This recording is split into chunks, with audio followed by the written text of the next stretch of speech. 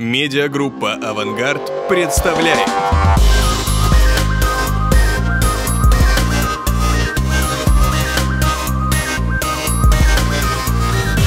Мы предполагаем поговорить о проблемах построения процессов разработки программного обеспечения, чтобы обеспечить э, как безопасность самого процесса, так и чтобы полученное ПО, программное обеспечение банковское соответствовало требованиям и решало свои задачи. Сам процесс разработки всегда достаточно сложно было построить с учетом соблюдения требований безопасности, удобства взаимодействия с IT. А в современных условиях э, это стало особенно сложно, потому что есть две противоположных тенденции. Э, с одной стороны, растут риски информационной безопасности, соответственно, ужесточаются регуляторные требования. Вот в частности, в соответствии с положением 683-П необходимо обеспечить либо сертификацию, либо проверку на уязвимости в соответствии с четвертым уровнем стандарта 15408, что подразумевает э, более тщательное регламентирование процесса и более глубокое документирование всех аспектов. А с другой стороны, Растут требования со стороны бизнеса э, по скорости разработки и внедрения программного обеспечения.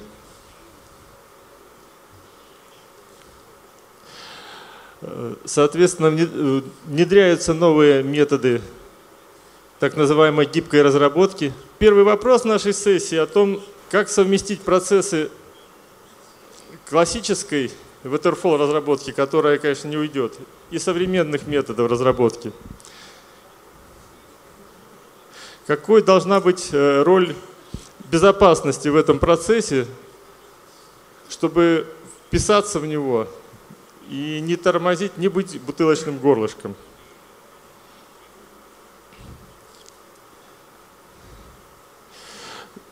Слово я предоставляем мистеру Шриманту, который представляет службу информационной безопасности и киберриска Всемирного банка и сможет поделиться с нами лучшими мировыми практиками вот, по построению процесса безопасной разработки. Let me start by thanking uh, you for having me here, and uh, I'm uh, very delighted to be here. So, just to give you some organizational context, uh, so we at the World Bank, we are a multinational organization, which is a multi-development uh, bank, which uh, supports um, macroeconomic projects worldwide for upliftment of poverty in the developing world. And to do so, we have close to, I would say, 2,000 applications. Um, additionally, we have close to 200 odd mobile applications. And to support this massive uh, uh, presence on the internet. We have uh, close to 1,500 um, to around 1,800 software developers at any given point, of, point in time which, uh, who support these type of projects.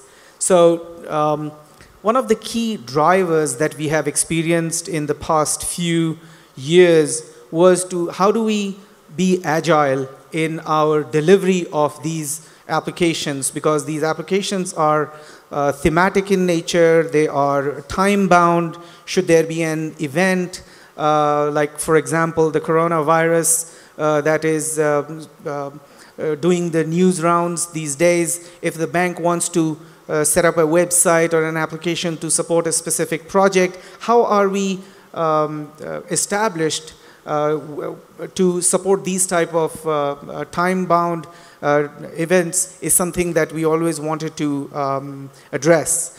And to do so, uh, what we um, were actually pushed by our senior management to look into how we develop these uh, software and application. Uh, and uh, I would like to share that journey with you.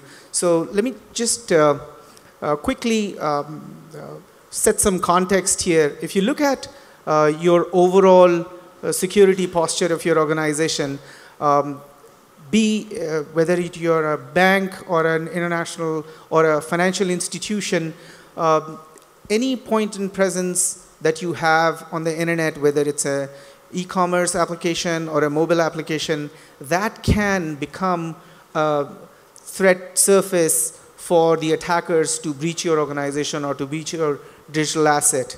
So how can you protect that?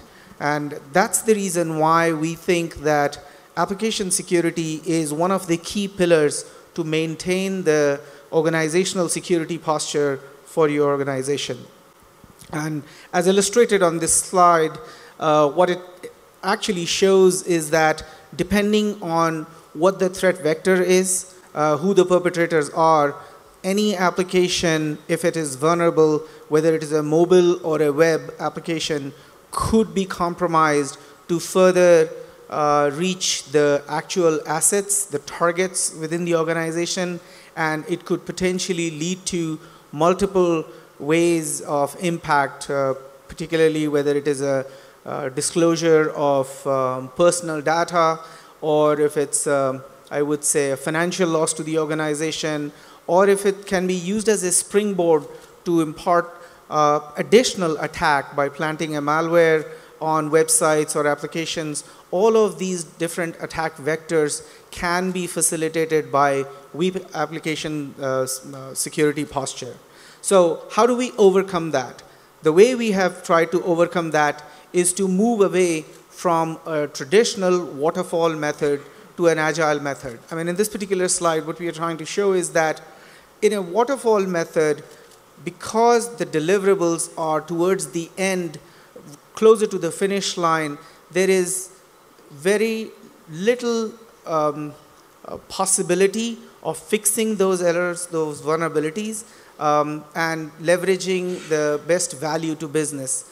And that's the reason why we believe that um, agile methodology helps in while we are developing the product in tranches, in phases, we have the opportunity to fix it uh, as we uh, build the uh, product.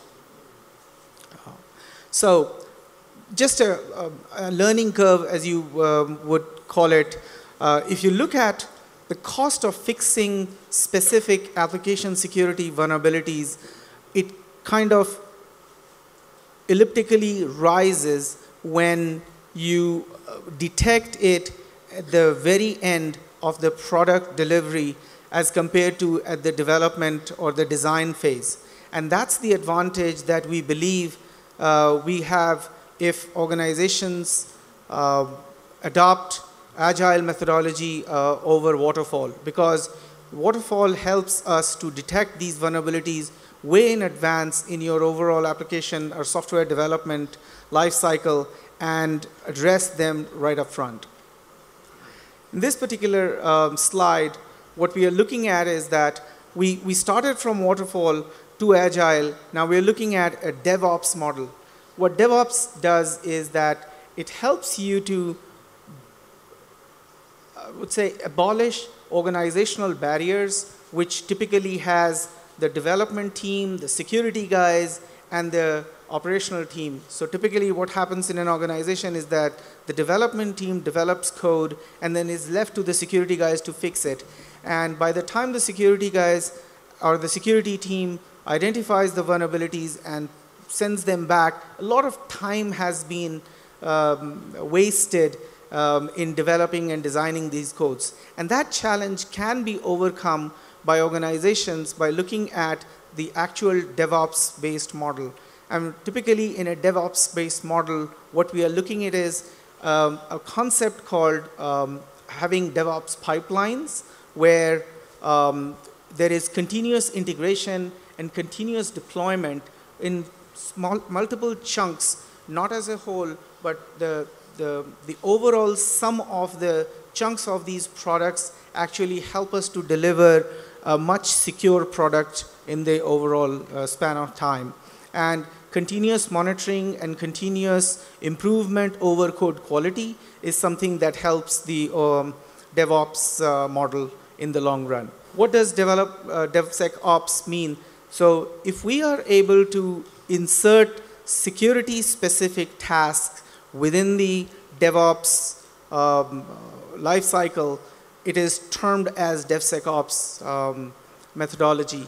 What it means is that the security steps, whether it is code correction, whether it is vulnerability assessment, whether it is um, checking and uh, understanding the, the security posture of the underlying infrastructure, that is all automated, that is all built in into the process uh, using infrastructure as a code technologies or multiple services that are available. So that, that helps organize and promote DevSecOps mindset. And in this particular slide, as you look at the concentric circles to the right side, you see that whether it is design, test, deploy, or build and improve, there are multiple cycles of development and code correction that go in as part of the overall DevSecOps uh, process. Moving on, I mean, if you look at an organization, if your organization is looking at adopting DevSecOps as a methodology, this is a classic DoD model, Department of Defense model that is promoted, and a lot of organizations are actually adapting this methodology where it clearly shows different steps of automated security that is embedded within the overall software development process to be able to help you achieve your desired results. What that means is that it's not, it's not a sequential, but a cyclical process where code is corrected, vulnerabilities are identified at every stage, and your development process moves to the next stage only when it meets a specific threshold.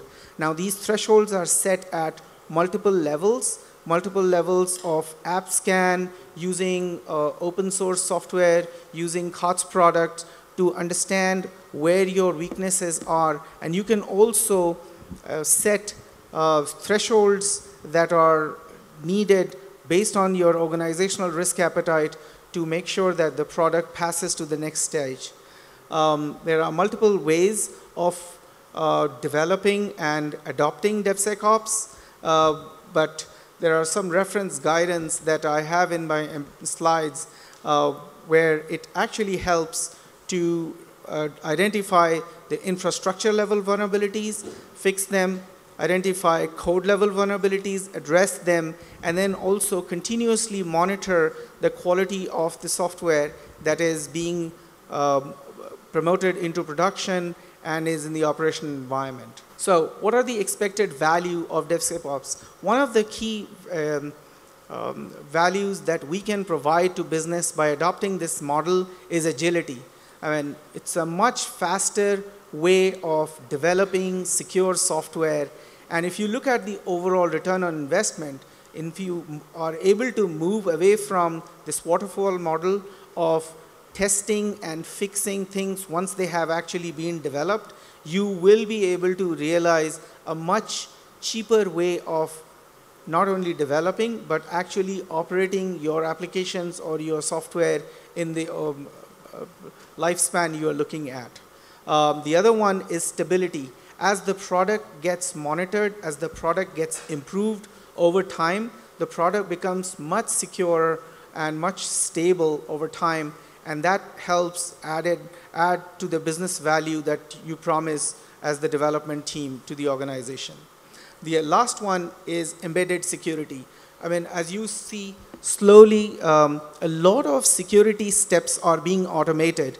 The manual intervention is kind of being reduced by putting a lot of onus on automated scripts or hooks, as we may call, uh, that get um, introduced into the DevSecOps pipeline, and then they perform the desired steps or desired tasks before passing the code to the next level.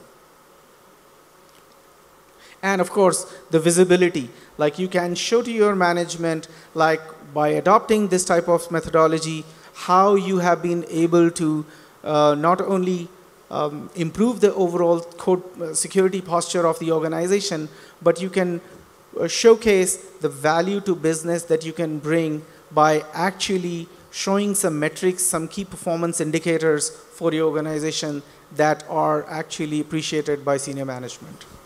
Спасибо.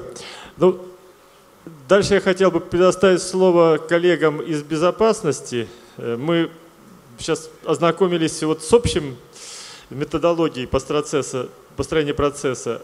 А как вот именно с практической точки зрения организовать взаимодействие IT и безопасности, как нам строиться в этот процесс? Ну, вопрос, наверное, сначала Сергею Демидову, который представляет Департамент операционных рисков, информационной безопасности и непрерывности бизнеса Московской биржи. Я не соглашусь с коллегами из Международного банка, а, потому что сейчас презентация, которую мы посмотрели, говорила приблизительно одно, то, что Waterfall мертв.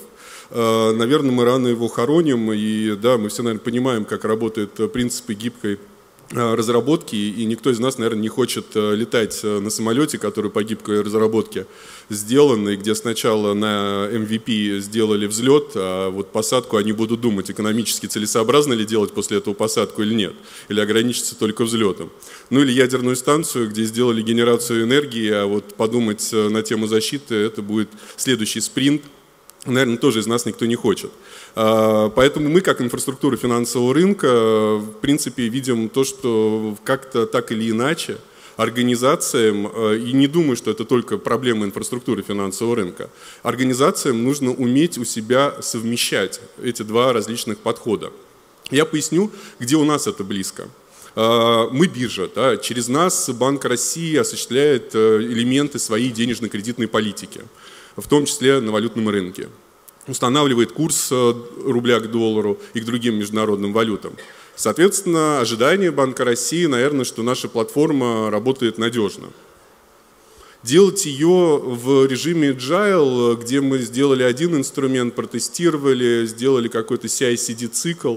Ну, наверное, можно. Можно, наверное, декларировать, что это будет еще и надежно, но, честно говоря, все наши эксперименты показывают, что даже у лучших товарищей с надежностью все равно э, есть проблемы. Да? Вспомним 13-й релиз iOS на э, устройствах Apple, которому даже Apple признал, что было много косяков.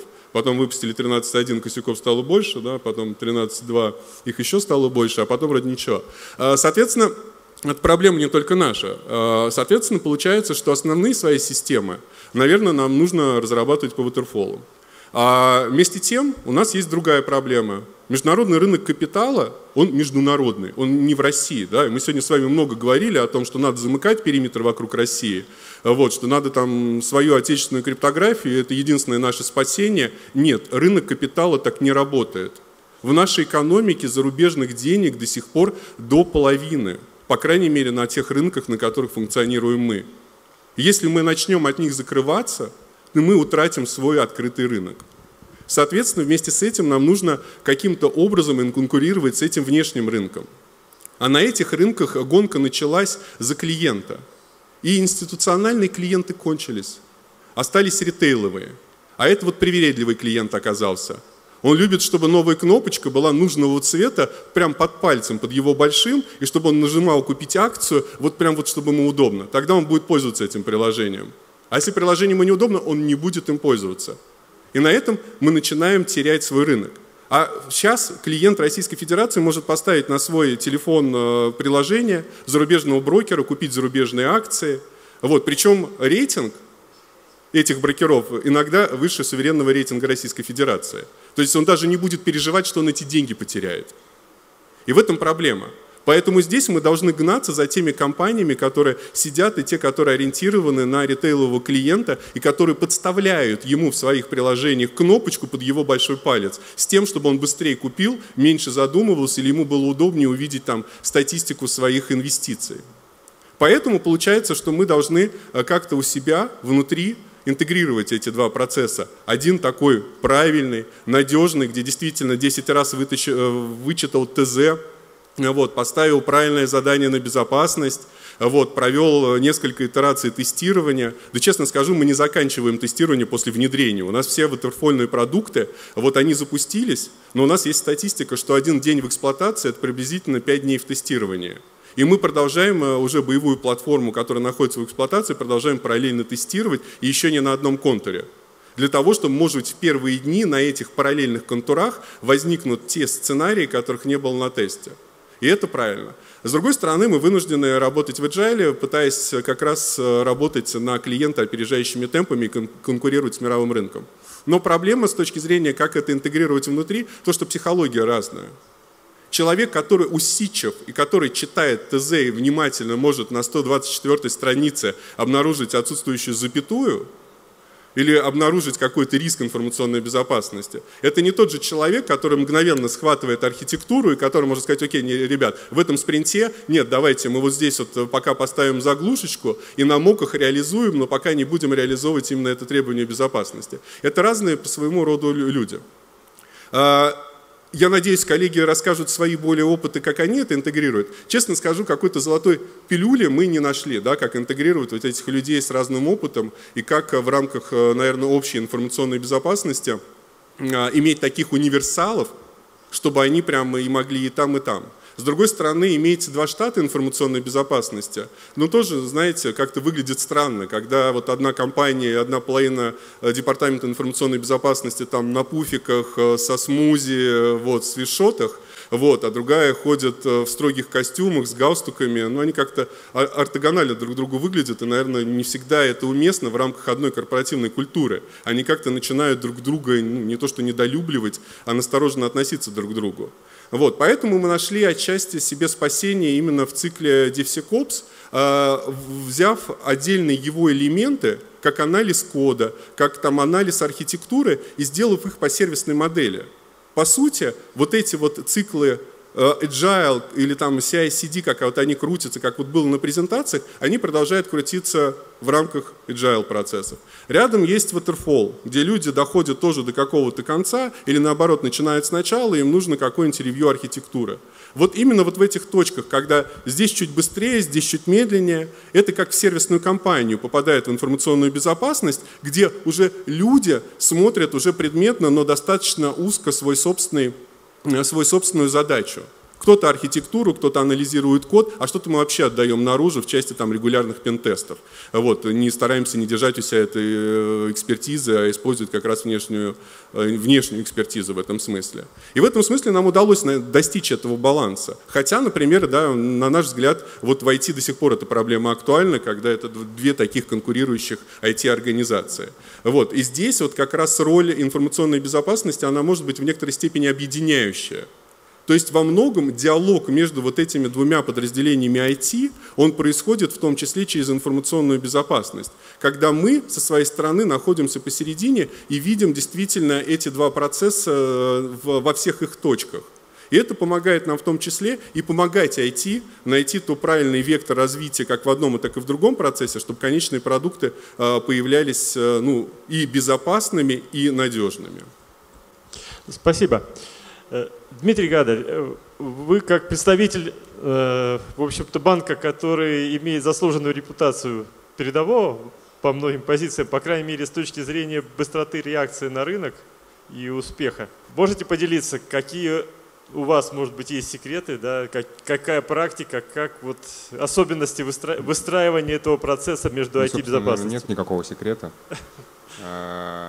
Первое, что важно, мне кажется, мы начали обсуждать э, про то, как э, разрабатывается Waterfall или Agile.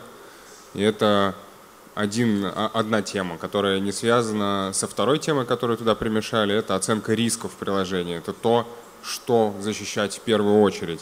И третья большая тема, которую вы не обсудили, это как конкретно защищать э, тот или иной процесс. Вот, наверное, в Тинькофф мы не ограничиваем э, разработчиков и команды, по какому процессу они пойдут и не говорим, какой процесс э, будет более правильный, waterfall или agile. Хотя я соглашусь с коллегой, что agile, наверное, выглядит более э, ориентированным на рынок, ориентированным на клиента. Но все же в, в целом в циклах разработки в том или ином есть свои подходы по безопасности. И тот или иной процесс одинаково необходимо защищать.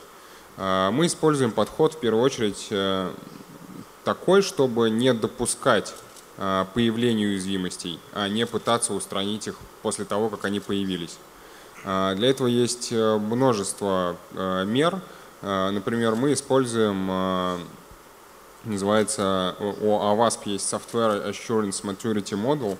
И вот в этой модели есть э, конкретные э, практики, которые можно оценить э, свою разработку, насколько она хорошо, эти практики реализованы у вас, и спланировать реализацию этих практик стратегически вперед.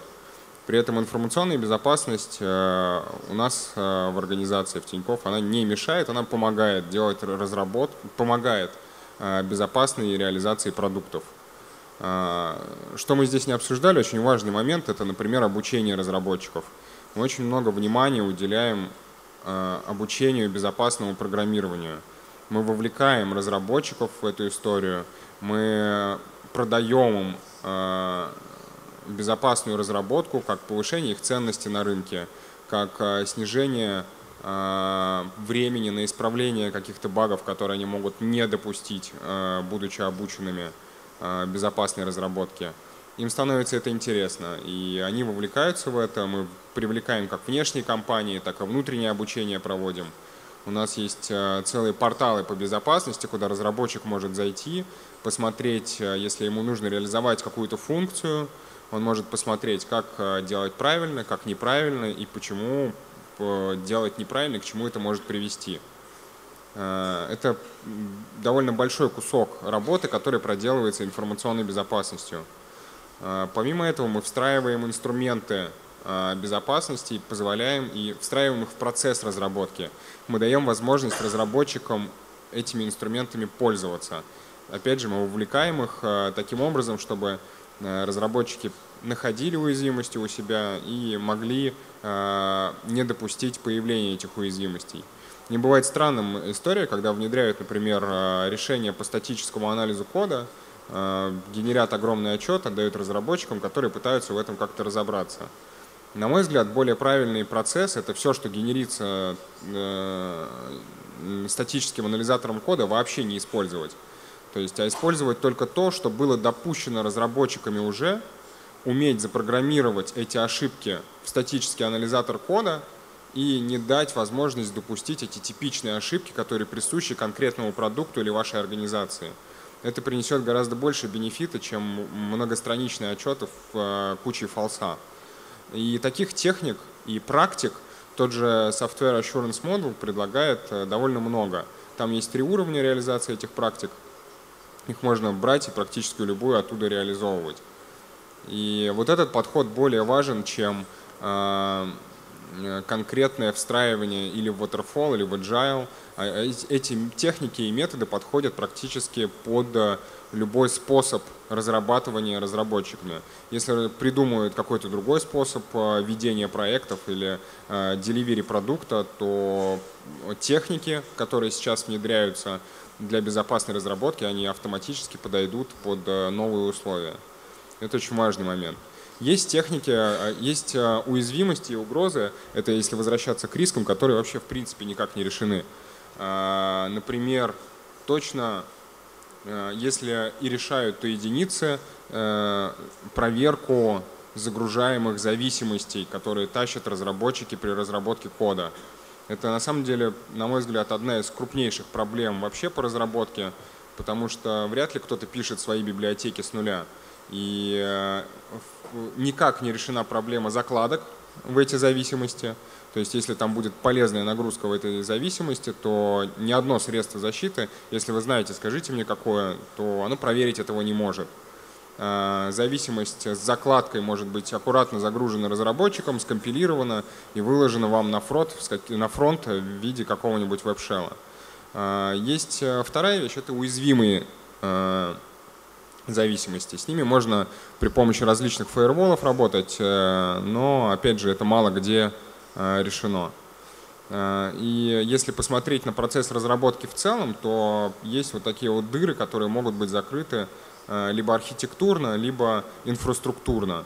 То есть я имею в виду архитектурно, например, мы можем дать разработчикам полную волю, все, что они хотят делать, загружать абсолютно любые зависимости. Половина из них не будет использоваться в итоговом коде, но может содержать э, в себе полезную или вредоносную нагрузку. И результат э, разработки можно сделать, э, чтобы он попадал в продуктивную среду через синхронизацию Git, например, и проверять тот полезный продукт, который был сгенерирован разработчиками в свободной от безопасности зоны. Э, это там один из методов и подходов. Поэтому, наверное, единого рецепта нету, и, на мой взгляд, информационная безопасность должна быть поддерживающим подразделением, Э, подразделением, в которое, с которым с удовольствием общаются разработчики, а не подразделением, которое приходит и бьет их по рукам. И такой подход э, жизнеспособен, по крайней мере в, мо в моей ситуации, это работает. Я вижу снижение количества уязвимостей и позитивное э, общение между командами информационной безопасности и разработки. Спасибо. Да. Если... Спасибо. А, вот бытует мнение, что э, если информационная безопасность активно помогает, включается в проектирование, помогает разработке, то потом получается некий конфликт интересов, что с другой стороны информационная безопасность должна контролировать соблюдение неких там регламентов, правил, осуществлять приемку ПО, вот, а своей другой половинкой оно как бы хочет сдать все в срок, да, вот не видите ли вы здесь так, какого-то противоречия? И вот у вас в структуре, скажем, те безопасники, которые включаются в команды Agile, да, в команды разработки, и те безопасники, которые осуществляют приемку продукта, там, говорят, все, одобрено. Это одни и те же люди или это разные? Мне кажется, не может быть разных э, безопасников. То есть э, э, те безопасники, которые тормозят э, бизнес, наверное, выглядят странно, потому что все-таки безопасность в первую очередь это оценка рисков и нацеленность на зарабатывание денег, потому что те же безопасники, которые работают в организации, они не для того, чтобы там мир во всем мире сделать и против всего плохого и за все хорошее, а не для того, чтобы организация могла заработать денег. Простой вопрос я задавал людям, которые не очень там в безопасности, я читал э, тренинг, э, и после тренинга ко мне подошел человек, говорит, слушай, все, классно, я теперь вот тоже вот по, буду, понимаю, почему мне все запрещают. Я говорю, слушай, но это странно, что ты это понимаешь, потому что если тебе это нужно для реализации бизнес-процесса или для зарабатывания денег – безопасность не должна запрещать этого. Давай простой пример. Вот у тебя есть дырявый сайт, который ты знаешь, что точно его там поломают в течение суток. Э, ты согласишься на публикацию со стороны безопасности в интернет его? Нет, конечно. Я говорю, почему? А ты выяснил, сколько этот сайт заработает денег, а кто э, по бизнесу может... Публикация этого сайта принесет огромный доход, и взлом этого сайта после не несет особых рисков никаких. Ну, вынести его куда-нибудь в облако, да и пусть его там ломают, но зато бизнес может заработать на этом деньги. И поэтому все-таки информационная безопасность должна в первую очередь э, думать головой, э, думать в сторону бизнеса и зачем. Ну, главный вопрос, зачем это делать. То есть, если какие-то требования или ограничения э, делаются, то в первую очередь нужно понимать, зачем эти ограничения делаются, ради чего, какой риск снижается этими ограничениями. И ну, вот это, наверное, ну, да. правильно, единственный, единственный возможный подход. Пожалуй, с Дмитрием нельзя не согласиться. Ну и вот у нас еще будет завтра с утра сессия про нормативное регулирование. Там тоже буду об этом говорить. Э, но вот в душе я согласен, а на практике вот такой вопрос возникает. И когда есть пиковая нагрузка, когда там открывается там какой-нибудь грандиозный проект или несколько проектов одновременно, э, привлекают э, там программистов, ну там 500 человек или 1000. Как обеспечить вот при таких пиковых нагрузках сопровождение проектов? Ну, тут два аспекта, да, как с точки зрения должны быть штаты, и второе, где взять этих людей, чтобы вот здесь не затормозить процесс. Вот Дмитрий, да. Да, вот, это ко мне вопрос? Да, да, да. да. Дмитрий, очень продолжение. Это вопрос приоритетов, да, которые должны правильно расставляться и исходить из рисков. Если а, там, величина риска, которая может а, произойти после реализации небезопасного приложения выше, чем нанять внешнюю компанию, которая конкретно в данный момент может поучаствовать и поддержать этот проект – надо нанимать компанию эту внешнюю. Если э, можно отложить этот риск, продать его, застраховать это приложение, не знаю, ну то есть все что угодно, вынести его в облако. То есть есть масса, это зависит от конкретного бизнес-кейса и от конкретной, конкретных рисков, которые выявляются в результате реализации этого приложения. и что с этим будет. Можно, например, я не знаю, если сейчас пиковая нагрузка 500, можно разработать это приложение, потом выкинуть его, перепилить заново. Сколько это будет стоить? Ну, то есть, может быть, это будет дешевле стоить, чем сейчас нанимать команду безопасников, которая тормознет его на полтора месяца. Ну, как да. бы это нужно в каждом конкретном случае думать о том, как э, выгодно и безопасно с э, минимальными рисками заработать на этом денег. То есть, да, вот балансировать теми ресурсами, которые есть, да, не пытаться там вдруг ну, подстроиться. Как бы, ресурсов больше нет, чем, их, ну, чем да, они есть. Да. Поэтому, естественно, нужно не то, что балансировать а, тем, что есть, это баланс приоритетов в первую ну, очередь. Если будет там два безопасника, можно сделать безопасность двумя безопасниками.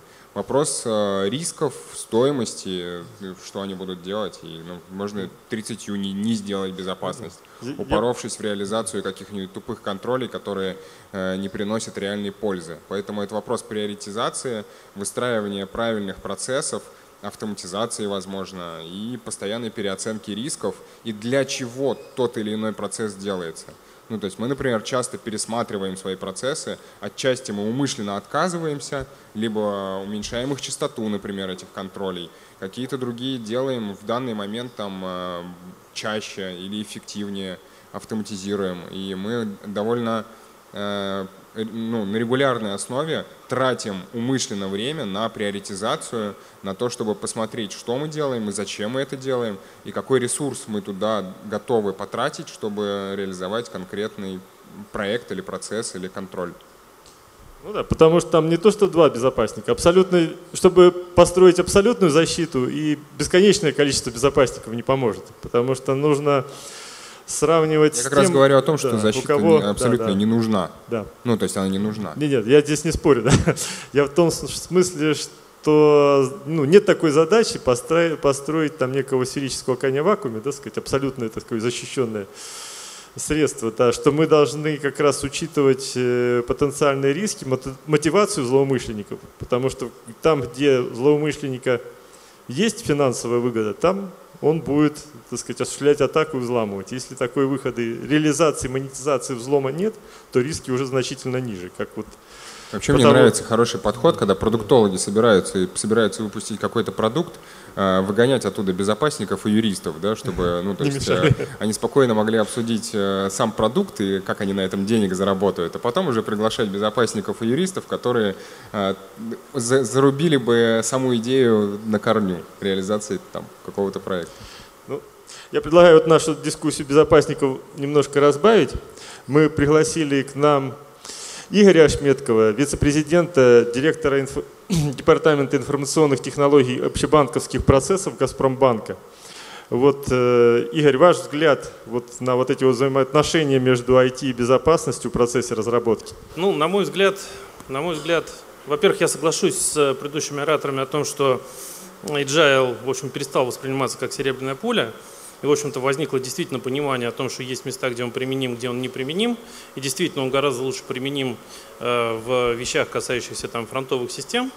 Но, как мне представляется, вот сейчас э, взаимодействие IT и безопасности э, в области agile в крупных некоммерческих организациях, оно, там проблематика лежит даже не в области, в командах, безопасники или не в командах, а в области ну, модели принятия решения, что ли.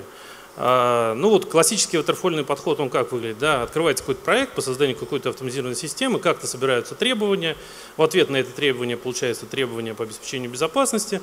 Дальше начинается некий процесс формирования проектной документации, во всех банках она называется по-разному, но общий смысл в том, что она описывает, как, собственно говоря, должны реализовываться там требования бизнеса и требования безопасности, и все это отправляется там на согласование, условно говоря, экспертным подразделением, в экспертные департаменты. Это все приходит в экспертный департамент, и вот так сверху вниз от руководителя департамента на замов, на начальников отделов и так далее, до экспертов минус какого-то уровня, значит, разваливается. Эксперты на это дело смотрят, вот, пишут замечания. Хорошо, если эксперты работают в организации долго в этот момент, они более-менее понимают, как все устроено. Если эксперт новый пришел 2-3 месяца назад, он со всей душой подходит к этому процессу, вкладывает туда весь свой жизненный опыт, приобретенный в предыдущих организациях и вообще все, что он думает по этому вопросу. Дальше вступает ключевая роль во всем этом деле секретари, которые объединяют все эти замечания снизу, и, собственно говоря, упаковывают и с, ну, с пометкой «не согл» забивают мячик обратно на сторону зла. Вот. Совершенно понятный, нормальный рабочий прогнозируемый процесс, его можно планировать, несколько итераций, одна-две. Это параллельно разрабатывается сам продукт.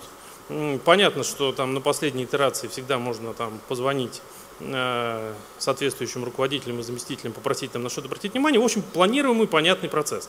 В чем проблема Agile? В том, что он опять подчеркну, в крупных некоммерческих организациях, как правило, в области разработки. Вот в области разработки там все начинает работать немножко по-другому, но при этом весь остальной процесс остается как был. Вот это вот все сверху вниз, снизу вверх и в несколько итераций. Вот, на мой взгляд, ключевая вещь вот именно в области agile и взаимодействия IT с безопасностью – это в модели принятия решений и, так сказать, в построении системы, в которой а, решение принимается не вот так вот, а на уровне там, конкретных экспертов, условно говоря, с взятием соответствующей ответственности. Ну, как обычно и бывает в области разработки, где ответственность, в общем, обычно лежит на тем лиде команды. Вот, вот, на мой взгляд, вот это, вот, мне кажется, проблематика лежит больше вот здесь сейчас. Потому что понятно, что ну, невозможно набрать под там, десятки, сотни там, команд, agile команд, которые пилят какие-нибудь там фронтовые системы, в каждую посадить по безопаснику, чтобы он там вместе с ними сидел, что-то проектировал. Но менять процессы, подходы, мне кажется, есть смысл. Спасибо.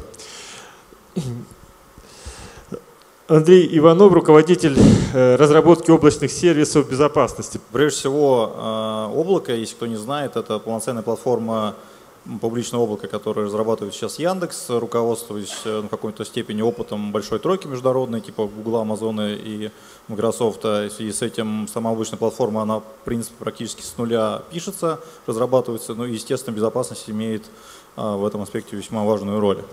А, и а, мой тезис, наверное, будет звучать следующим образом, что чтобы действительно эффективно внедрить процесс безопасной разработки, кстати, который в целом не зависит от модели разработки, так или иначе, что классический waterflow, что, что agile, что-либо еще, требует определенного процесса. Просто в зависимости от модели разработки он должен выглядеть либо так, либо иначе. Вот, соответственно, чтобы внедрить этот процесс и он эффективно работал, нужно создать так называемую культуру информационной безопасности в компании. То есть, когда все участники процесса будут заинтересованы в безопасности. Это легко сказать, но может быть сложно сделать. И сейчас я хотел как раз озвучить те шаги, те основные пять элементов, компонентов вот на нашей культуры, их, конечно, больше, но просто время ограничено, которые мы используем. Прежде всего, и это уже звучало, такая банальная простая вещь, но она все же важная – что для формирования культуры нам нужна поддержка руководства. Ни одно стратегическое действие в компании с точки зрения безопасности без поддержки руководства невозможно, и это тот самый случай, когда она нам нужна. Если говорить об опыте именно Яндекс Облака, то нам в этом плане повезло. Руководитель разработчиков всех сервисов облачных Ян Лещинский имеет достаточно большой опыт разработки в принципе этих сервисов, в том числе в международных компаниях, поэтому он прекрасно понимает, что безопасность это свойство нашего продукта, и он определяет некий вектор. Это не значит, что разработчики после э, слов своего руководителя руководителя радостным строем идут и пляшут под дудку безопасников. Такого, естественно, не происходит. Но как минимум наиболее, не знаю, там, ленивые, что ли, из них э, не могут уже просто так не соглашаться с долгими безопасниками и так или иначе понимать, что это ну, некий вектор, в, который надо, в сторону которого надо двигаться. Второй важный момент – это все же определенные регламенты. Сегодня уже звучали фразы насчет того, что регламенты тяжело, бесполезно и так далее и тому подобное. А, это так, если они написаны сухим формальным языком. А, наш опыт показывает, что, естественно, не может быть полной анархии, и если мы определили хоть какой-то процесс его очертания, этот процесс должен быть хоть как-то зафиксирован, доступным для разработчиков языком, чтобы они понимали, на каких этапах, в каких моментах они должны обращаться к безопасникам. Почему они замотивированы обращаться сами, об этом я расскажу чуть позже. Но смысл в том, что вот эти регламенты, естественно, они должны учитывать определенные этапы, которые уже тут здесь звучали, например, тот же там самый этап обучения, который классические изделия рекомендуют. А, в нашем случае э, этот этап э, не привязан ни к какому проекту, у нас просто есть регулярное обучение разработчиков со всеми материалами, я думаю, очень похоже на ситуацию, которая есть у коллег в Тинькове. Э, естественно, они также с точки зрения мотивации пропагандируют, что это им будет полезно, но так или иначе есть некие базовые курсы, без которых к разработке коллеги не допускаются, особенно в облаке, потому что для нас это критично. А, но особенно, особенно в прод. А, но самое главное, что это, как я уже сказал, все же изложено достаточно простым, незатейливым языком, и коллегам из разработки обычно понятно. Еще один важный момент вот этой создания культуры – это наличие опыта application security у безопасников. По моим наблюдениям, не так много компаний, а, хотя, конечно, их количество растет, где э, классическая безопасность может похвастаться таким опытом. Без этого опыта говорить с разработчиками весьма проблематично. Ну, так как Яндекс компания изначально компания разработчиков, то понятное дело, что у наших ребят этот опыт application security в весьма больших объемах присутствует. Это им позволяет, с одной стороны, находить общий язык с разработчиками, понимать их задачи.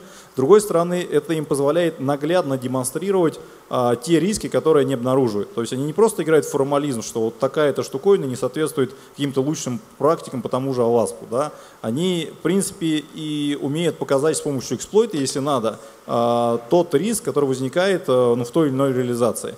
И верно и наоборот. Если они видят там формальное срабатывание того же САСТа, они могут оценить, действительно оно является а, критичным, или это там, очередной fall positive, или может быть даже это не fall positive, но в данном конкретном случае он не имеет никакой роли и не нагружает разработчиков а, лишней, лишней работой.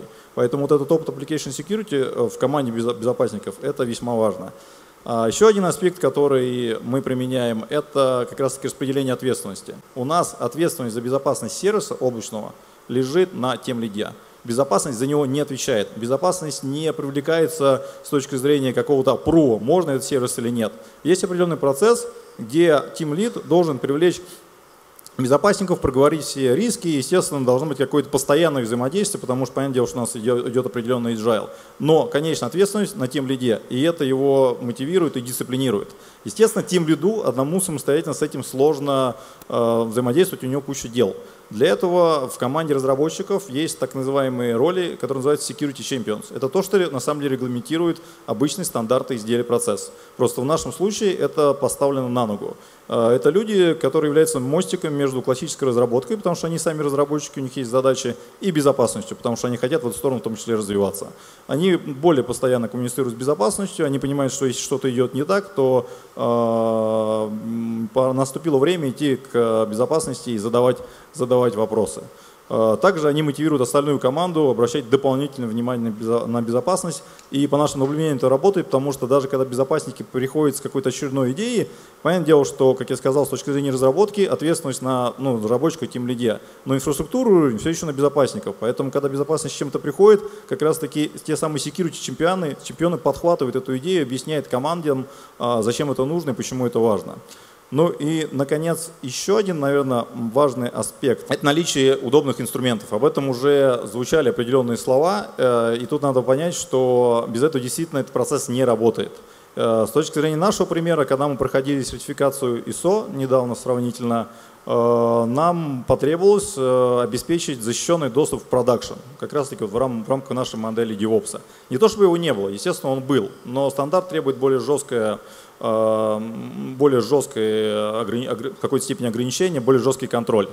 А, посмотрели, естественно, в сторону аппаратных токенов, UBK, например, чтобы то четко идентифицировать э, каждого разработчика, который идет в прод, и ограничить риски кражи креденшалов. Посмотрели также в сторону Бастиона. Ну, по сути, разработали этот сервис, куда, который должен писать все сессии, куда разработчики должны приходить и с него идти уже дальше в прод. Естественно, тут же начались страдания и абсолютно, на мой взгляд, адекватные несогласия с тем, что становится неудобно. Да? Вот это какой-то токен, дополнительный креденшал, какой-то Бастион, который в роли джамп-сервера э, изначально вроде как планировался, это абсолютно неудобно, поэтому э, тут же была перестроена модель. Во-первых, UBK привязали к корпоративной учетке, сделали таким образом некий, sign-on. Во-вторых, сервис, для сервиса Бастиона того самого создали специальную отдельную SSH-клиент, э, с нуля разработанный, который пробрасывает сессию насквозь. То есть для разработчиков ничего не меняется. Они как раньше ходили, так и ходят. Но при этом в нынешней конструкции тот самый Bastion сервис, во-первых, контролирует весь доступ, во-вторых, пишет все сессии. Э, это вот просто магия инструментов, которые удобны для разработчиков. В итоге ISO, ISO успешно пройден, разработчики больше не возмущаются, процесс имплементирован. Вот, то есть, если вкратце, то, что я перечислил, это поддержку руководства, это правильное разграничение ответственности, э, регламенты доступные и понятные, опыт application security и вот удобные инструменты. Естественно, много есть еще нюансов, которые можно более подробно говорить, было бы время, но вот эти пять основных аспектов я вижу, что позволяет создать и создали ту самую культуру ИБ, когда за безопасность, по крайней мере в нашей команде Яндекс Облако, переживают не только безопасники, а всеми руками вот эту идею поддерживают и разработчики в том числе. Спасибо. Спасибо. Ну, то есть у вас все-таки есть разные безопасники. То есть security champion, который в команде, и безопасность, которая... А Формальный security champions это все же не безопасник, это сотрудник струк- команды разработки. Да, Просто, но как он я не в структуре безопасности. Да, Мне он кажется, не в структуре безопасности. А по поводу security чемпионов, очень крутая как раз тема. У нас они так и называются. И мы, э, возможно, даже изначально с Яндекса, наверное, пример взяли пару-тройку лет назад э, security чемпионами. Она вот, если у кого-то нет security чемпионов, я их рекомендую завести. Это как раз да, э, это ставки. амбассадоры в командах разработки. И они мотивированы, и это имеет некоторый лавинообразный эффект. То есть сначала их было у нас там 20 человек, сейчас порядка 250, если не ошибаюсь, security чемпионов. И э, это активные наши э, руки в командах, которые пользуются инструментами информационной безопасности, которые обучены информационной безопасности, они понимают в архитектуре. Это помимо остальных, э, ну то есть учиться, э, условно, там, безопасной разработке может кто угодно, вообще кто угодно в банке. И, в принципе, много народу учатся, которые даже не имеют отношения к разработке, учатся, как безопасно программировать. Но вот security чемпионы обязательно обучаются, проводятся внутренние, э, например, внутренний баг-баунти для security чемпионов, они там основные участники, и для всего банка. То есть э, сотрудники банка, любой сотрудник банка в течение там months of bugs э, может найти уязвимость в другом продукте, не в своем, самое главное, и э, принести ее в безопасность. Для этого, за это он получит определенные там профит, баллы, на, на которые он может, не знаю, купить себе там от толстовки до айфона. Это очень хорошо работает. В нашем случае в схожем процессе даются ачивки, за которыми Да-да-да-да. все- Это в продолжении темы о дефиците кадров, которую затрагивали с утра, о том, что мое мнение, что как раз security чемпионов можно выращивать из айтишников, отбирая тех, Из разработчиков. Да, из раз, ну, грубо, конкретно из разработчиков.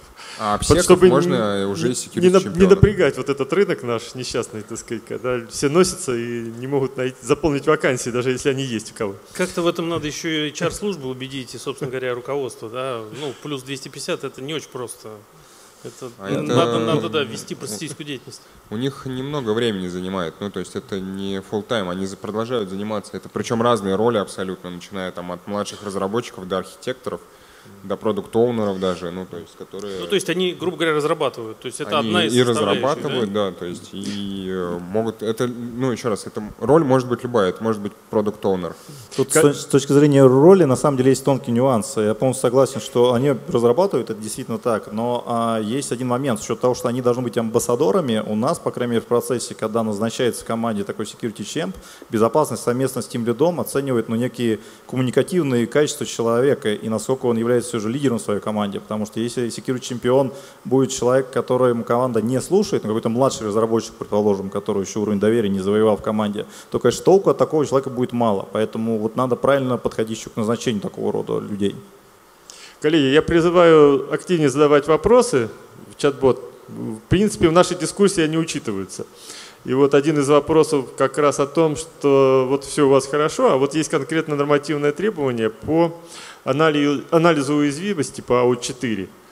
Как, так сказать, это в процессе, э, какие реализуются уже или нет, и какие планы, как это нужно сделать. Ну, я этот вопрос, думаю, мы послушаем всех представителей безоп- безопасности ну, и IT, но сначала я хотел бы дать слово Дмитрию Кузнецову, директору по, тех- по методологии и стандартизации Positive Technologies, потому что у него есть свои предложения, как это должно быть организовано.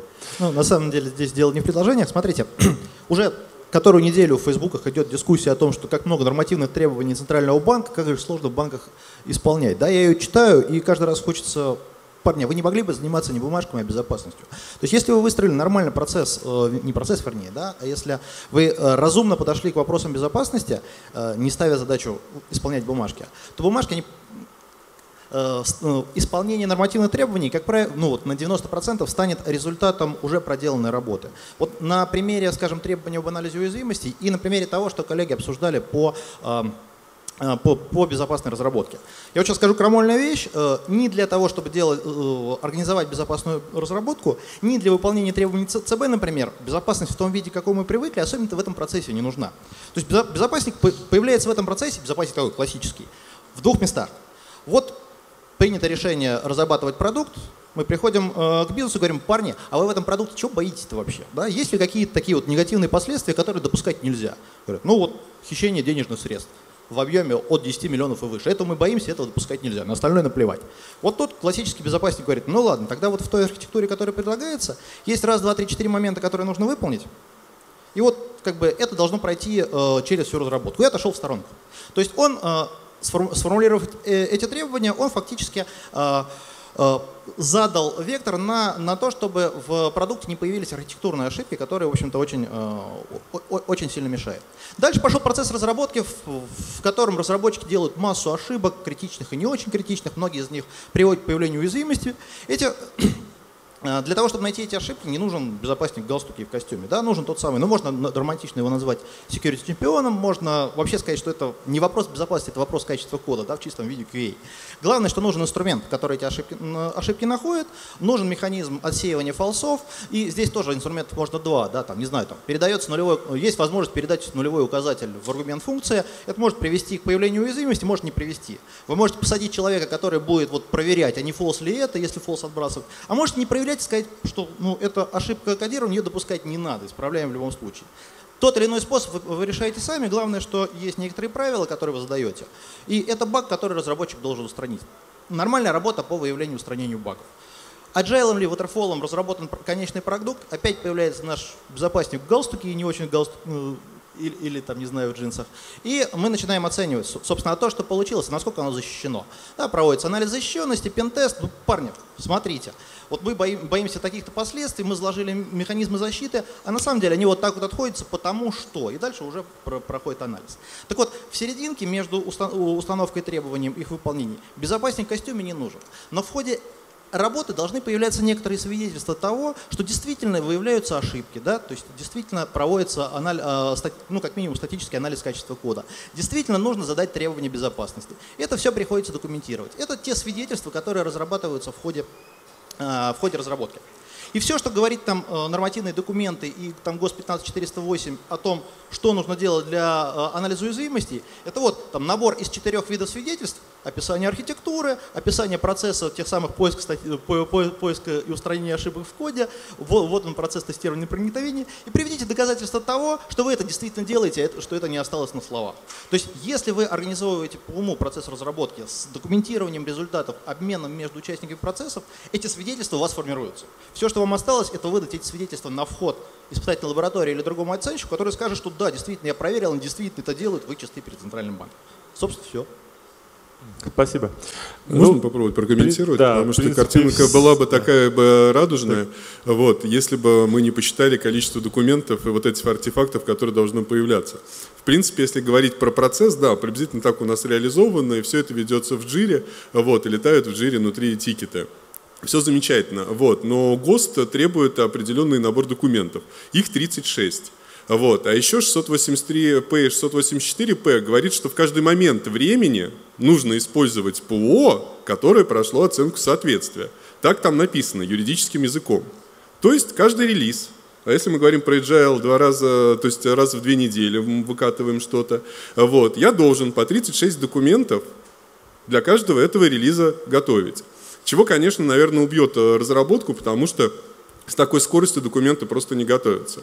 Поэтому здесь, безусловно, наверное, как бы принципы в документ заложены хорошие, да, я, наверное, здесь даже не спорю, вот, но реализация сейчас, э, на наш взгляд, э, чуть-чуть хромает.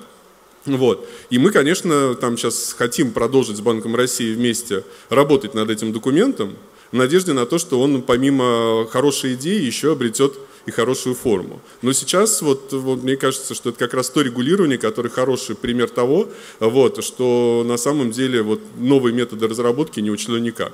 Причем мало того, я помимо Банка России заехал тут в стек, потому что Банк России в своих э, тезисах ссылался на то, что они не могут менять часть документа, потому что это как-то ну, настоял в стек. Я поговорил с коллегами из стека, в некоторой степени неформально. Вот, они сказали, что к ним просто никто не приходил. Они тоже готовы слушать и готовы общаться на то, как в свои нормативки включить э, те методы. Они не против развития, они не против всего нового, вот, но к ним просто никто не зашел.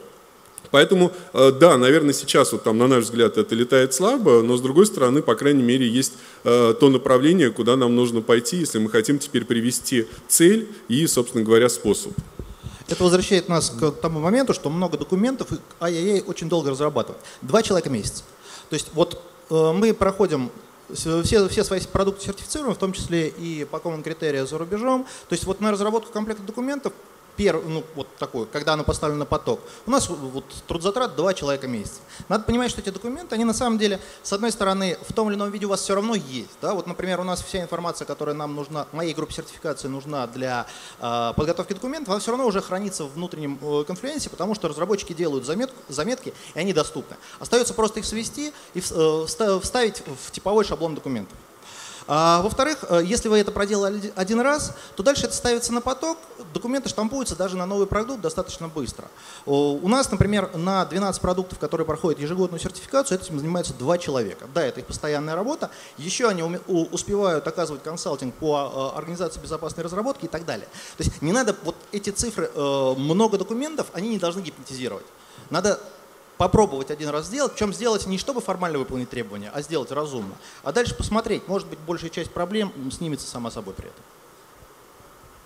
Спасибо. А, Дмитрий Гадарь, можете дополнить, дополнить так сказать, эту хотел, тему? Как, как вы решаете эту проблему хотел или планируете решать? учитывая, что у нас может быть много релизов. А вопрос из зала был именно к вам этот. Так что не получится промолчать. У нас может быть много релизов в день. Наверное... Релизов каждого продукта? Разных продуктов. Ну, то есть здесь вопрос, наверное, действительно надо погружаться в детали. Я чуть больше согласен с Сергеем. Не очень, ну, некоторые вещи э, мы и так делаем, и делаем больше, чем прописано там в законодательстве или еще где-то. Мы делаем много э, сверх того, что требуется. Но вот эти вот смущает действительно тонна документации, которую нужно сгенерировать. И э, не совсем понятно, зачем ее генерировать. И хочется чуть более э, погруженности, не знаю, в процессы там, гибкой разработки. Если это жиры, например, то, может быть, там, не знаю, с электронной подписью как-то там собирать эти эвиденсы, но не чтобы это было за подписью там специальных людей, которые распечатывают эту тонну документации, складывают ее в шкафы или на склад куда-то. Ну, то есть абсолютно, ну, то есть у меня всегда возникает вопрос, зачем? Зачем это делать? Мне, ну, то есть не очень понятно. Я понимаю цель и э, как бы посыл о АУТ 4, он очень правильный и хороший, он в целом повысит защищенность э, там некоторых организаций. Я не уверен, что в моем случае защищенность будет повышена, потому что мы и так делаем э, достаточно много для того, чтобы привести разработку э, в безопасное состояние. Там, ну, то есть и мы все, что там требуется, и так делаем. Просто для, для меня это, например, просто сгенерировать кучу бумаги, ну, положить ее. Ну, то есть... Я тут дополню Дмитрия. На самом деле, вот то, что Дмитрий говорил про риск-менеджмент, да, и то, что абсолютно сейчас, наверное, прошло мимо, это то, что многим вообще не нужно защищать. Вот многим разработчикам, которые несут на себя свой риск, защищаться вообще не нужно. А, в рамках вот этого вот регулирования, которое предписывает организациям проводить оценку по АУ-4, а, есть нормативный акт помимо 683, еще 684П, который для всяких брокеров, страховых и прочих. А, и там пропорциональное регулирование. Там говорится, что должны его соблюдать и такую оценку проводить только крупные, вот, а мелкие не должны. Но в результате э, Науфор провела такую оценку, и оказалось, что под крупные попали 282 из 400 брокеров. Ну, то есть, по большому счету, почти все. Вот. А среди вот этих вот 282 э, есть компании, в которых три человека. Человек заработал 15 миллионов рублей, получил брокерскую лицензию, сам торгует, сам написал своего торгового робота, вот, сам торгует, и раз в неделю его, даже не раз в неделю, скорее всего, раз в час где-то этот софт подписывается. А сам торговый робот крутится на FPGA-картах. Вот теперь расскажите мне, где здесь 36 документов, где тут АУТ 4, ну, хотя юридически он должен все это делать. Что еще хотелось бы обсудить? Вот мы говорили о том, что как построить процесс, чтобы получить безопасный продукт на выходе, но еще ведь важен вопрос, как построить процесс, чтобы он сам не создавал рисков безопасности с точки зрения утечки информации при разработке, утечки самого кода, нарушения целостности какой-то информации в бизнес-системах. Потому что зачастую, ну вот я в своей практике, в общем, бытует такое мнение, что ну вот есть какие-то там требования от сверху спущенные. Вот нельзя тестировать на реальных данных, нельзя разрабатывать на реальных данных. Вроде бы все логично. Но со стороны IT часто слышим то, что ну а как, мы вот не можем вообще-то по-другому работать. Ну, может быть, вот Игорь как раз у нас попробует прокомментировать эту проблему. Все-таки можно ли э, тестировать и разрабатывать без использования реальных данных и вообще вот как построить процесс, чтобы он не нес рисков разработки? Значит, некая проблема, на мой взгляд, заключается в том, что в вопросах инфобеза, в вопросах безопасности тестирования и разработки есть желание создать некий единый процесс – создать некий единый регламент, который применим для всех автоматизированных систем банка, ну и желательно в рамках классического подхода, когда действительно разработка делается на отдельных средах, лучше вообще без данных, тестирование на отдельных средах с синтетическими данными, ну и понятно, что есть промсреда как неизбежное зло, но лучше туда никого не пускать, особенно, конечно, разработчиков, ни в коем случае. Значит, э, ну вот проблема этого подхода, на мой взгляд, в том, что он не совсем работает. Значит, э, я бы структурировал проблему следующим образом. То есть, во-первых, вопрос э, персонал, внутренний или внешний. Ну вот для внутреннего персонала, на мой взгляд, история делится на три класса систем примерно. То есть первый класс систем, где классические подходы целесообразны, второй, где нецелесообразны, а третий, где фактически невозможно. Но вот к третьему классу систем я бы отнес все системы, где в центре данные, а не функциональности, собственно говоря. Ну, то есть это от истории с разработками разных моделей, от систем принятия решений, там, корпоративных хранилищ, вплоть до систем подготовки и сдачи регуляторной отчетности. Ну, то есть это те системы, где структур данных совершенно недостаточно, где нужны сами данные, причем в том виде, в котором они есть здесь и сейчас, вот в этой конкретной организации. Где-то там кривые, косые, недозаполненные, может быть, расходящиеся, да, а, там Понятно, что ну, возникает вопрос, что нужно строить там систему управления качеством данных, систему data governance там, и так далее, и все это делается, и все банки это делают, но, в общем, к сожалению, на мой взгляд, на данный момент Ахиллес под названием data governance с трудом догоняет черепаху под э, названием качество данных. Поэтому, вот, на мой взгляд, если мы с вами, коллеги, признаем, что вот для такого класса систем, в общем-то, возможно смена некой парадигмы и понимание того, что можно тестироваться на реальных данных и даже разрабатывать на реальных данных, то это и станет в общем, постановкой задачи для служб информационной безопасности, как обеспечить эту самую информационную безопасность. А на мой взгляд, э, ну, способов много, как минимум от пересадки всех разработчиков, тестировщиков там, на тонкие клиенты, на VDI машины, да, где нету флешек, где ночью нельзя открутить жесткий диск там, и утащить его домой, условно говоря, да, что не словит никакая DLP-система, до соответствующего контроля, мониторинга мониторинга, анализа трафика там, э, ну и так далее. Но еще раз, это шаг второй. Первый шаг – это признание самого факта, что этим надо заниматься. Второй класс систем, где нецелесообразно, значит, ну, условно говоря, если у вас есть какая-нибудь система там, административно-хозяйственной деятельности, написанная на 1С, где живут там столы, стулья, хоздоговора, вот, я, честно говоря, не вижу ничего трагичного в том, что разработчик, собственно говоря, дорабатывает ее на стенде разработки с копией промышленных данных. Вот. Это в любом случае будет гораздо эффективнее, а так как эти системы, они, как правило, поддерживающие, да, то чем эффективнее, тем лучше. И, собственно, там два разработчика на 1С там, закроют все потребности крупного банка э, без всякого диопса, там, системы билдов, контроля версий там, и так далее. Ну, я чуть-чуть утрирую, но я просто, чтобы понять. И проблема в том, что таких систем довольно много. А нормативная база в организациях, как правило, это все не учитывает и не учитывает эту классификацию. Ну и третий класс, это, конечно, где все это целесообразно, важно и нужно, где нужно разделять все эти среды, где нужно выстраивать все эти процессы. Как правило, это как раз системы, где функциональность, функционал важнее данных, ну, условно там, да. Вот, и понятно, что для того, чтобы разработчику напилить какую-нибудь форму показа кредита там в мобильном приложении, ему совершенно не обязательно иметь в базе реальные данные, ему достаточно, чтобы там был хоть какой-то один там кредит, который он будет это самое, а лучше два. Вот. Ну а что касательно внешних разработчиков, понятно, что тут мы скованы, в общем-то, требованиями, требованиями по банковской тайне и так далее. И поэтому, конечно, для внешней разработки нужно организовывать ну, как бы среды с обезличенными или синтетическими данными. Но, опять-таки, к счастью, обычно на внешнюю разработку отдаются системы, относящиеся к классу систем с функциональностью больше, чем с проблематикой по данным. И это более-менее все нормально работает в классическом подходе. В общем, кратко подводя итог. Первое, на мой взгляд, нужно все-таки классифицировать системы на разные классы. Второе, защищать и заниматься вопросами инфобеза применительно к разным классам систем. Вот. Ну и третье, еще раз подчеркну, на мой взгляд, уже пора все-таки примириться с тем, что на реальных данных для определенных видов позволительно и тестировать, и даже разрабатывать. Спасибо. Можно чуть-чуть дополню? Я да. в целом согласен, Коротко, таким да. подходом мы идем, но то, с чем я сталкивался в нескольких организациях при попытке создать такую инфраструктуру, это контур Э, тестовый контур, да, то есть он должен быть связанным, и данные должны, э, там, если они обезличиваются, они должны синхронно обезличиваться по всем системам.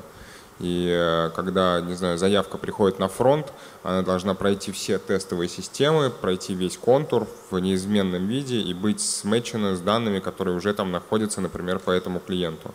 Это интеграционное тестирование, отдельная история, и вот это обычный камень преткновения, когда нужно провести Э, интеграционный тест по всем системам. Вот совершенно согласен. Я, честно говоря, забыл про это сказать, про то, что основная проблема вот третьего класса систем, который сказал, что применимо, целесообразно и так далее, это, конечно, проблема интеграции и проблема тестирования этой самой интеграции. Под это, конечно, должны существовать пред-прод контура, вот, со, со всеми полноценными, так сказать, данными. Тяжелая задача, но все-таки решаемая, в отличие от истории просто с данными и, не знаю, с моделями.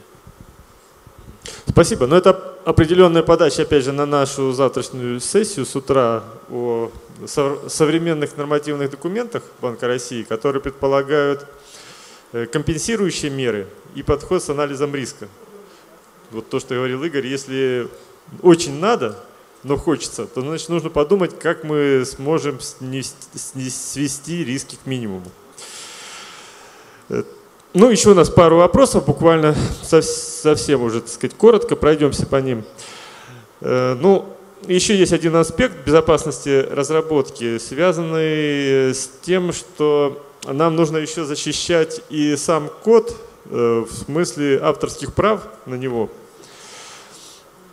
Э, и конфиденциальности его с точки зрения безопасности. Вот здесь у нас э, какая ситуация? Это вообще, так сказать, реальная проблема или надуманная, или вот, так сказать, на, как и, ну, насколько это проблема и как ее решать? Ну, э, вопрос давайте вот к Артему Гутнику, руководителю ИП НСПК, он у нас еще не участвовал. Да, я очень долго молчал, сидел, ждал своего часа, он наступил.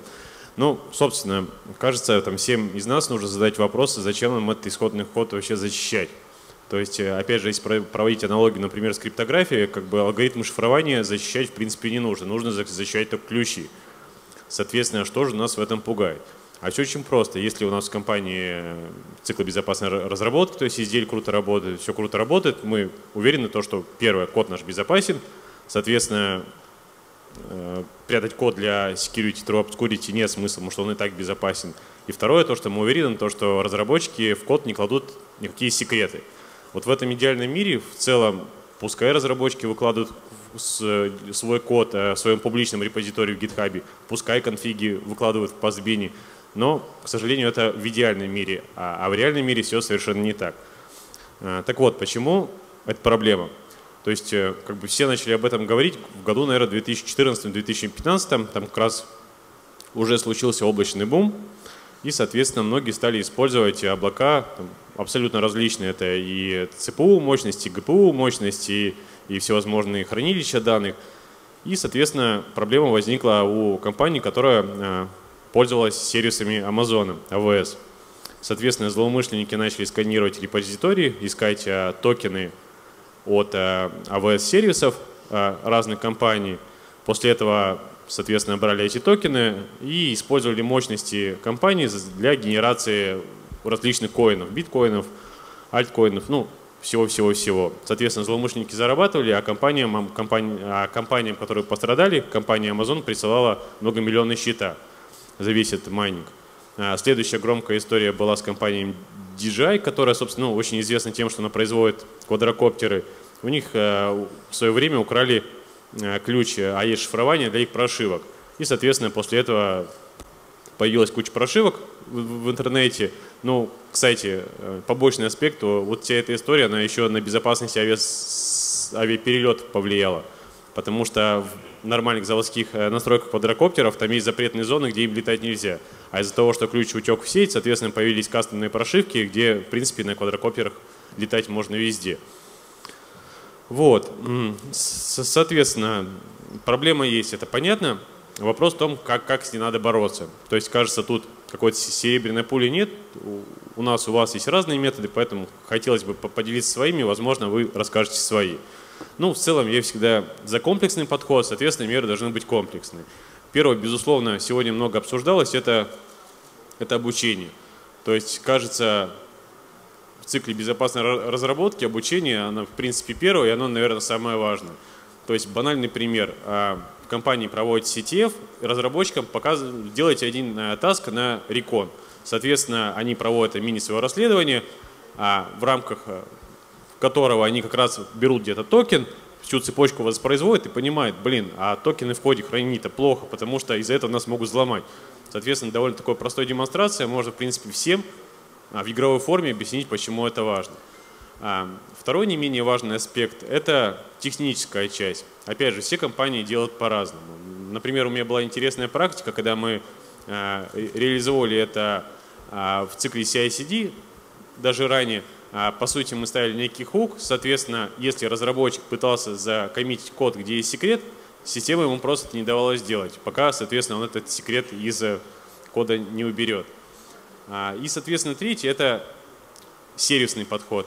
Опять же, много мы говорили, то, что сейчас безопасность, а, ну, надеюсь, везде, это некий сервис, сервис для бизнеса. В любом случае, там, любого а, подразделения, которое оказывает поддержку бизнесу, задача эффективность этого бизнеса повышать.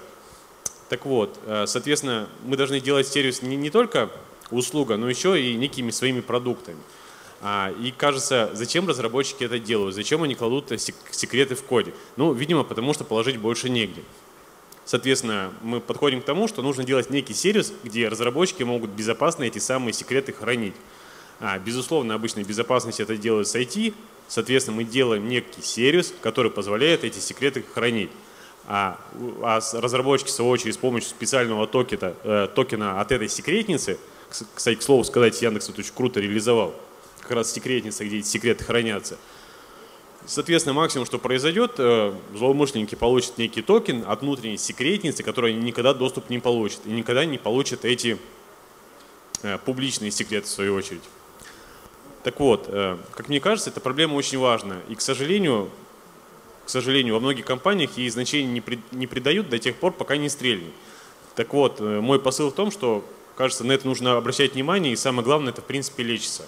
И подходы понятны. Спасибо. Андрей, дополните? С точки зрения э, конфиденциальности вот кода, то, наверное, я прежде всего адресовал бы э, к своей, к своему предыдущему спичу насчет культуры, потому что я уверен, что правильно внедренная культура ИБ помогает и обезопасить сам код, и минимизировать риски его утечки, когда нам это надо. Но, безусловно, есть еще, необходимо, должно быть понимание на такое, насколько мы хотим этого достичь. То есть э, является ли код ну, просто конфиденциальным, когда его утечка э, ну, все же не брушит нам все, или это вот прям то, что утекать вообще не должно при никаких условиях. Мой опыт работы в крупных вендорах, включая международных компаний, показывает, что многие из них к основной массе своего кода относятся все же как к простой конфиденциальной информации. Никто не пытается его э, защитить, как там, ну не знаю, иголку кощея. А, да, естественно, выстраиваются стандартные методы, которые позволяют э, противодействовать утечке информации. Но мы все знаем случаи, и какие случаи были, когда утекали коды там, целых продуктов. С одной стороны, это не очень приятно с точки репутации, с другой стороны, ну, невозможно взять код и там, его как-то переиспользовать с точки зрения там, создания аналогичной компании. Все это прекрасно понимают, дело не только в коде. Поэтому вот целеустремленность некоторых из нашей компаний э, защитить код так, чтобы не было никаких возможностей его украсть, ну как, кстати, и вообще информацию компании, она вызывает иногда вопросы, потому что когда э, безопасник говорит, что у нас 100% информации или 100% кода это прям highly confidential, что не должно появляться вовне, это значит то, что как бы, защитить они его, скорее всего, не смогут. Ну, либо для этого придется делать отдельный бункер, но это очень специфичный сценарий. Ну, или тот же самый VDI, который упоминался, безусловно, он имеет место быть, но, на мой взгляд, э, вот это маги, магическое слово классификация, которое уже упоминалось, она просто должна быть и по отношению к коду. То есть мы должны понимать, какая часть кода является настолько критичной, что мы готовы э, усложнять жизнь разработки, создавать вот эти VDI-среды, ну или там в самом сложном случае рыть бункера, э, и, какая, и какая часть кода мы должны защищать с помощью стандартных механизмов, э, и вот тем самым путем создания культуры ИБ, которую мы с вами обсуждали. Вот если вкратце, наверное, так. Наш последний вопрос о том, нужно ли специальное нормативное регулирование в части процессов разработки. Вот, да. вот именно обязательное. Э, вот вопрос, Шримант, вот как у нас международная практика? Есть обязательные документы или только рекомендательные здесь, в этой части? If I can summarize the approach that we have had, I mean, we plan to minimize the role of security team in the overall process of software security. The way we see it, we look at just the way business specifies functional requirements, security team should be specifying the security requirements and delegate the overall approach of securing the software or the application to the development teams and the security team should be able to provide the the the, the capabilities and uh, the methodologies that are needed to secure these applications and after that the security team should be focused on identifying and assessing the security posture of the solution once it's in operations. So a very delegated model where there's very little um, dependency on manual steps in the overall software development is something that we plan to um, uh, adhere to. Спасибо. Игорь, Поддержишь? Ну, я, честно говоря, очень люблю фразу из, Карибского, из «Пиратов Карибского моря» о том, что кодекс – это не свод правил, а набор рекомендаций. Вот я бы предпочел иметь все-таки от регулятора набор рекомендаций, а свод правил вырабатывать уже внутри компании с учетом всех деталей, нюансов и так далее. Набор рекомендаций. Спасибо. Дмитрий. Я, наверное, поддержу. Мне важнее э, получение реального профита от тех или иных э, э, требований по безопасности. Артем, ваше мнение все-таки? Сами, сами будем определять внутри правила? Плюс один. Или помощь нужна регулятора? Ну, кажется, рекомендации все-таки. Все-таки в рамках рекомендаций. Лучших практик, которые мы могли бы использовать в себе, да? Ну, смотрите, я буду да, чуть-чуть ну, оригинальным э, вот, э, под конец. Э, мне кажется, что вот за, за рубежом, да, по крайней мере, там в одной из своих прошлых жизней там работал, чуть-чуть знаю эту историю. Действует принцип «соблюдай или объясняй». Вот, либо ты соблюдаешь требования и тогда на себя их применяешь, либо ты объясняешь, почему ты их не соблюдаешь, но тебя регулятор умеет слушать. Вот мне кажется, у регулятора тоже есть задача, они хотят сделать безопасным абсолютно всех. Но на этом же рынке есть мелкие компании, вот, про которые я рассказывал, где три человека, а есть там большие компании, где Дима и Тиньков. Вот, ну, вот, вот зачем они лезут к Диме и Тинькову, я не понимаю. Вот. А вот э, что сделать с мелкими, да, наверное, им какие-то требования нужны. Поэтому нужно пропорциональное регулирование. И возможность тем, кто, возможно, лучше, чем их требования, э, как бы соблюдает процессы, возможность объяснить регулятору, что я вот вместо ваших требований соблюдаю вот эти, и они лучше. Спасибо, Андрей. Полностью разделяю мнение коллег. Э, в какой-то степени у нас были попытки сделать что-то аналогичное, там, типа вот этих компенсационных мер в стека, но Мы знаем, что это не всегда все же эффективно работает. э, И наш- проблема нашей регуляторки, наверное, в том, что иногда она ле- лезет, на мой взгляд, слишком глубоко. То, что, в принципе, неплохо прописано в международных стандартах, вот, учитывая наш недавний опыт там, того же ISO, там есть масса практических, вполне понятных вещей, которые, кстати, еще и развиваются достаточно оперативно. Например, там специфику облачных технологий ISO уже учитывает, потому что есть соответствующий стандарт, так же, как и специфику э, защиты персональных данных. Э, Поэтому вот если в таком режиме получить, э, получать инструкцию от регулятора, имея возможность действительно объяснить, каким образом э, в каждой из конкретной компаний реализовано соответствие, то это выглядит полезным. А в том виде, которым прямо сейчас есть, особенно если мы вспомним все эти страсти про сертификацию продуктов, которые абсолютно не учитывают специфику тех же облачных технологий, ну это как-то выглядит совсем не очень. Спасибо, Дмитрий. Смотрите, когда мы говорим, ну, если все риски, связанные с э, продуктом, это собственные риски владельца продукта, действительно, ну, что-то регулировать, это его личные трудности. Беда в том, что в банковском секторе э, проблемы банка могут выливаться в проблемы клиентов и в проблемы государства. И когда проблемы даже небольшого банка вы- выливаются в проблемы для его клиента, ну, наверное, регулятор с этим смириться не может. Да, если причина этих проблем плохой код, значит, надо как-то добиться, чтобы код стал хорошим. А дальше есть два пути. Первый путь – это выставить некоторые требования. Парни, дел- делайте раз, два, три, у нас к вам претензий не будет. А можно сказать, нам все равно, как вы пишете код. Но за каждый инцидент вы будете получать в штраф 4% годового оборота. Ну вот регулятор пока выбирает второй вариант. Ну, первый вариант, насколько он эффективен, ну, как бы э, посмотрим. Но мне кажется все-таки, что многим банкам этот подход понравится больше, чем многомиллионный штраф. Спасибо. Ну, мне кажется, нам удалось вот сблизить э, позиции, даже, может быть, больше, чем я ожидал. Ну, надеюсь, э, для слушателей наша дискуссия была полезной.